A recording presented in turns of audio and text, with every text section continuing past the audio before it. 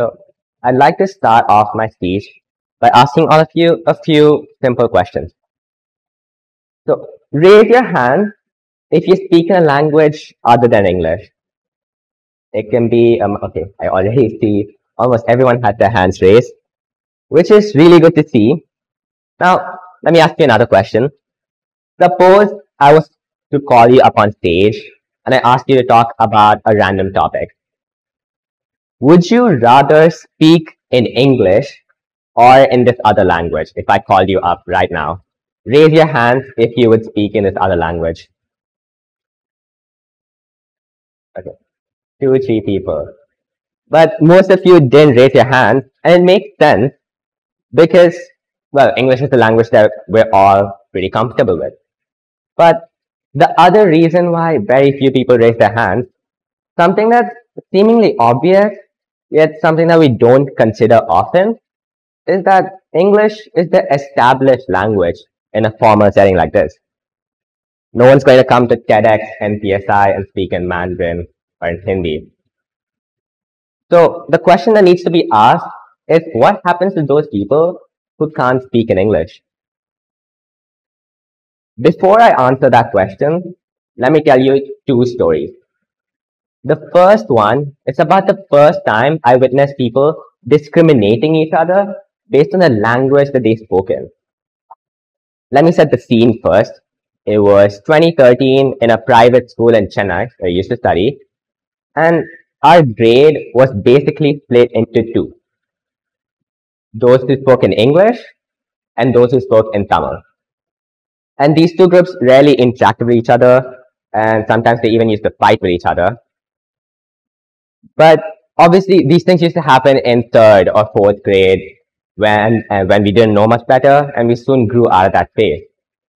But I was not too surprised to find out that this sort of a social divide based on the language that you prefer to speak in exists all around us in schools, in offices, and even within families.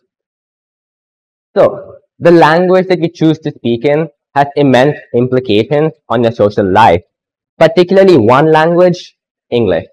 Now, although it's much appreciated to be able to speak in your mother tongue, English is the primary mode of communication across the world, especially in a professional setting.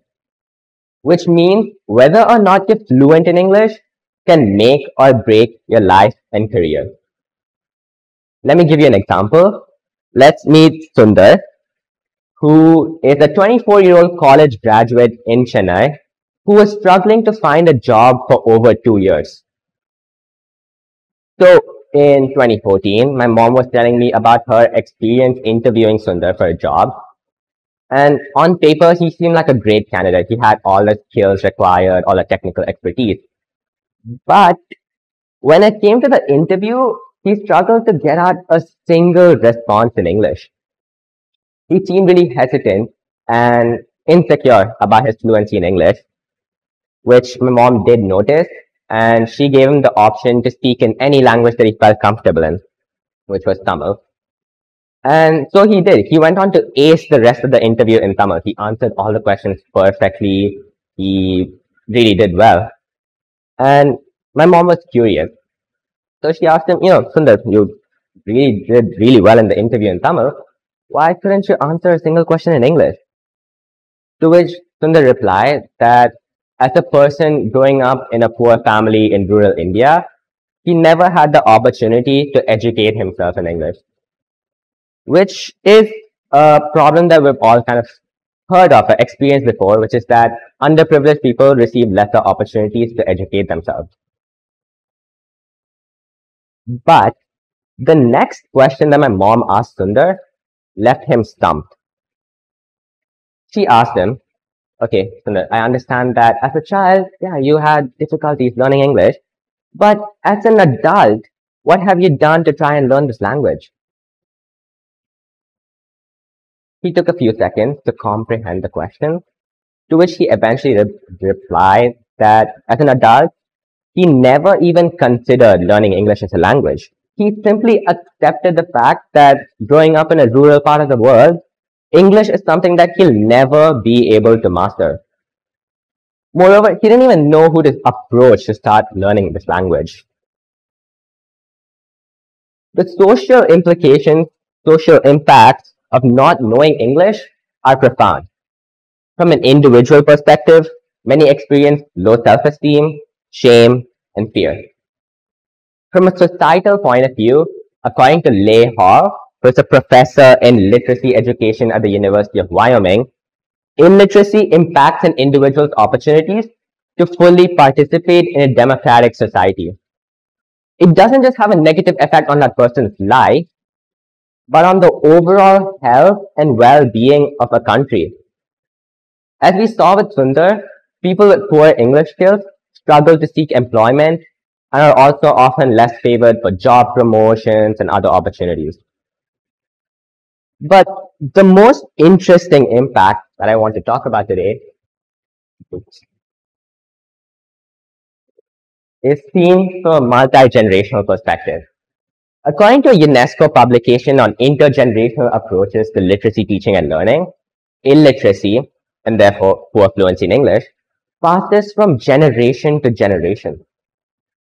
Well, what I mean by that is many adults who didn't learn English as a child deliberately avoid learning it in the future as a result of the shame and fear that they face. And when they have children of their own, they often tend to communicate non-verbally a sense of disapproval towards making an effort to learn English. What is really going on here is very similar to what used to happen in my old school back in Chennai, which is that society splits into two. Those who can speak in English and those who can't. A distance in society is being developed and those who want to make a jump from one side to another find it increasingly difficult to do so. Therefore, the problem with poor English fluency in rural parts of the world is not just one of poverty or a fragmented education system. Rather, it's a three-pronged issue. Firstly, there's a stigma around making an effort to learn English, especially among adults. This stigma, owing to a sense of poor confidence, fear, and sometimes even ignorance, leads to creates the intergenerational cycle that we discussed earlier. However, this stigma is also often reinforced by the rest of society. People may, for example, mock someone who is trying to make the effort to speak in English, which then obviously would discourage them from trying to do so in the future. Secondly, there are limited avenues for people to learn practical spoken English, not the textbook-based English that's being taught in schools today in rural parts of the world, that emphasizes memorization over comprehension. This way of teaching English to students, especially those who are first generation English speaking students, which means they're the first people in their family to speak in English, it results in these students treating this beautiful, wonderful language as if it was just any other language that you learn in school. And they end up losing interest in the language. They resort to mugging up these grammar rules and vocabulary instead of actually learning how to apply them in real life. And the problem with this is that conversational English, the way you and I talk to each other every day, is very, very different from English that you find in textbooks. Let me give you an example. A fundamental rule of grammar that we all learn in primary school is that you're never supposed to end a sentence with a preposition. But I can just as easily say, this stage is beautiful to look at or ask myself, who am I giving this TED talk to? And I just ended both those sentences with prepositions in a perfectly valid manner. Studying English from a textbook means that these children never get to learn this language the way you and I did, which means they'll never be able to speak it the way you and I do. Which then leads me to the third problem of poor English fluency in rural parts of the world, which is that Often when children use native languages, mother tongues to communicate with their friends, family, and in schools, they don't have the opportunity to talk in English with anyone. And as I said before, that's totally fine if you use a, a language other than English to talk. But when you're also trying to learn this language, this ever so important language, but you don't have the opportunity to talk in it with anyone, it really worsens things. As we saw with Sundar, he didn't even have anyone within his social circle to approach and try speaking and learning English from. The old saying, practice makes perfect, makes sense here. These people aren't good at English because they don't, they don't have anyone to practice speaking to. So at this point, you might be asking me, Ritvik, what is the solution to this? What can we do? Is there even a solution? I asked myself the same question about a year ago when I started the organization Speak and Learn with a few friends. And together we set out to solve this problem by providing people an opportunity, a chance to speak in English with someone. We collaborated with organizations from Tamil Nadu to Jammu and Kashmir to Vietnam to educate children and adults alike in spoken English. And we paired up these students, these children, with fluent English speaking volunteers from around the world and instead of teaching them the dreaded grammar rules and reading comprehension passages, we taught them how to apply what they use in school, learn in school, in real life.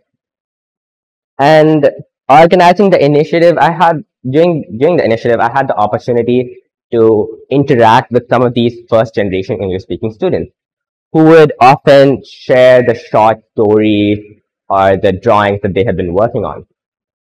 And as I spoke to them, I really got to find out why they learn English. Whether it's to satisfy their love for reading literature or to prepare themselves for becoming pilots and police officers in the future. But many of them didn't realize that English is a survival skill, one that they are being deprived of from a young age. Now, these children were brave enough to step up, admit that they needed help, and put in the effort to try and learn this language. But many others, millions of others worldwide, in fact, are not. More often than not, people don't need expensive tuition or school just to learn a language. They just need someone to talk to, a friend with, with whom they can practice conversing. And I was glad that I was able to give around 50 people this opportunity. But you might be wondering what you can do to make an impact in your community. And for that, I'm proposing three steps that you can take starting from today to help improve English fluency in your community. Firstly, and arguably the easiest, you can raise awareness about the issue. Now, by that, I don't mean just putting up an Instagram story and calling it a day. Rather, you can talk to people, you can talk to family and friends about the problems that we discussed today. A year ago, I just casually brought up this topic to my mom about how millions of children worldwide struggle to learn English. And guess what? The next day, she introduced me to a friend of hers who runs a school in India and was really struggling to teach spoken English to her, to her students. And that's actually how I ended up founding this organization. Secondly, if you're really dedicated to solving this issue, you can volunteer with one of the many wonderful organizations across the world, not just across Singapore, that aim to educate children and adults alike in spoken English. These are just a few of these organizations.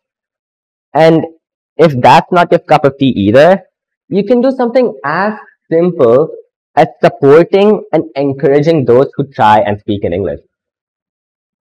More, many you might come across quite a few people in your life that aren't as fluent in English, but are trying to put in the effort to speak in it. So encourage them, talk to them. And you might be thinking, well, I live in Singapore. When am I ever going to come across someone who can't speak in English?